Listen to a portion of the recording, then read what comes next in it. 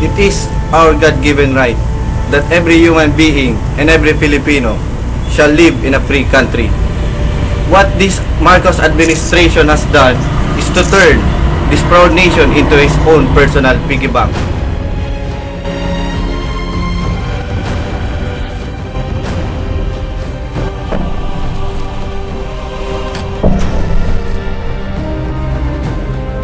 No refuses. If he wants to come back, he can do so by all means.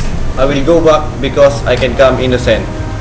And if Mr. Marcos would like to shoot my face, then so be it.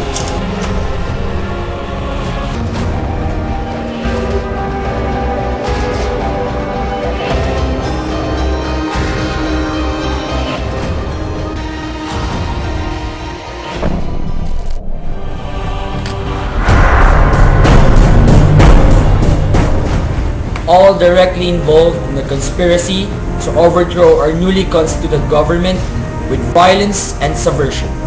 I believe that no man can dictate the welfare of direction of our country, the Philippines.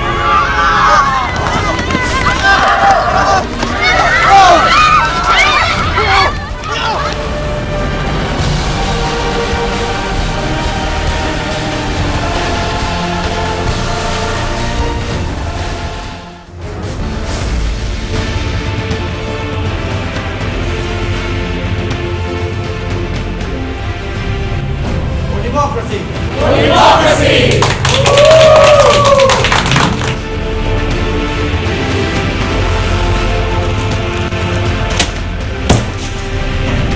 For the love and support of my countrymen, I greatly appreciate it.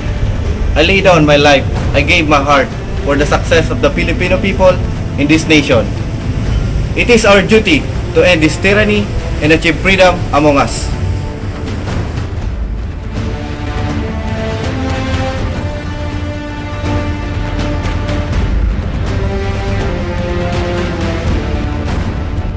What can one man do? I have no army. I have no following. I have no money. I only have my indomitable spirit.